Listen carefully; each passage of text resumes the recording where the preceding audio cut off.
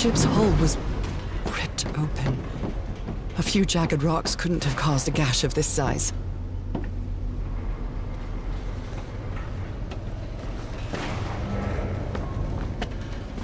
Oh, this place gives me the creeps.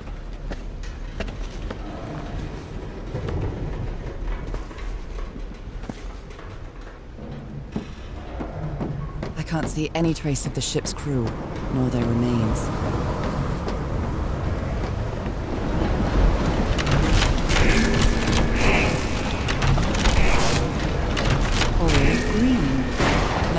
What exactly did I turn on?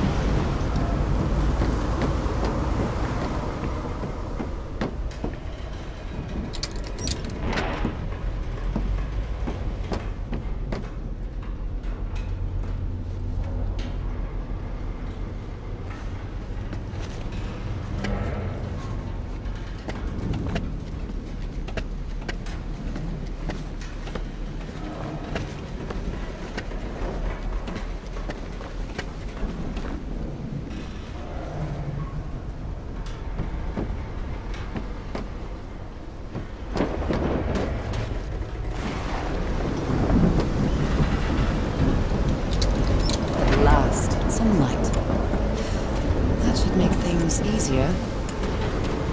Looks like they took items from the stranded ship.